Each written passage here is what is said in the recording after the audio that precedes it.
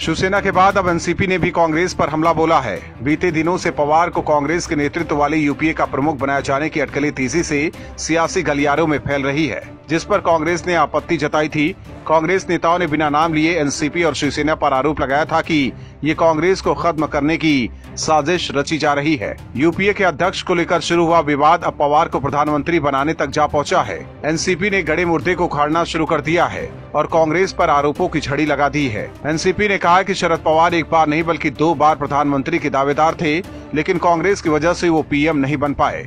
इस बात का खुलासा एनसीपी नेता प्रफुल्ल पटेल ने किया है। उन्होंने कहा कि कांग्रेस के दरबारी राजनीति के कारण शरद पवार प्रधानमंत्री नहीं बन पाए थे। प्रफुल्ल पटेल ने दावा किया कि 1990 के दशक में जब शरद पवार कांग्रेस में थे, उस दौरान अपने खिलाफ दरबारी राजनीति के कारण वो दो मौकों पर प्रधानमंत्री नहीं बन पाए थे। उन्होंने कहा कि शरद पवार उन्नीस सौ इक्यानवे और उन्नीस सौ छियानवे में प्रधानमंत्री की भूमिका के लिए निश्चित रूप से स्वाभाविक उम्मीदवार थे, लेकिन दिल्ली की भाई भतीजावाद ने इसमें अवरोध पैदा करने की कोशिश की।